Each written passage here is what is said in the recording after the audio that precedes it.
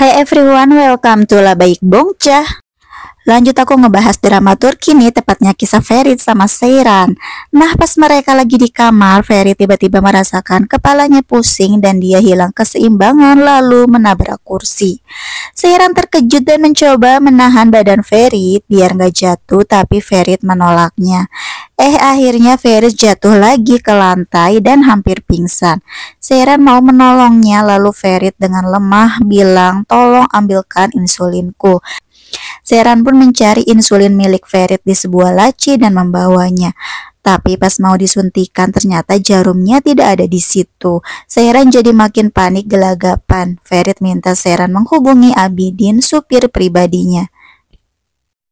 Abidin ternyata lagi di parkiran dan lagi ngobrol sama penjaga rumah yang lain. Seran heran kenapa teleponnya lama diangkat. Seran berniat minta bantuan ke yang lain, tapi Ferit minta Seran jangan ngasih tahu siapa-siapa. Untunglah Abidin udah beres ngobrolnya dan langsung mengangkat teleponnya. Seran ngasih tahu kalau Ferit pingsan dan seketika Abidin ngibrit ke dalam rumah. Pas di tangga, eh Abidin dipanggil kakeknya Ferit. Kakek heran kenapa Abidin lari terburu-buru. Kemudian kakek memanggil Abidin untuk ngobrol di dalam kamar. Nah, di dalam kamarnya Ferit, Sairan semakin panik melihat Ferit tidak bergerak. Ternyata Ferit udah beneran pingsan.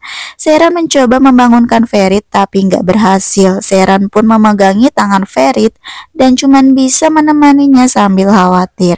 Seran masih memegangi tangan Ferit lalu mengelap keringatnya. Pelan-pelan akhirnya kesadaran Ferit mulai kembali tapi ngomongnya masih lemah. Seran malah minta maaf kepada Ferit atas apa yang terjadi hari ini. Dia kelihatan sangat menyesal. Dan syukurlah gak lama kemudian Abidin datang dan segera menyuntikan insulin itu ke tubuh Ferit. Melihat itu Seran pun merasa sangat lega.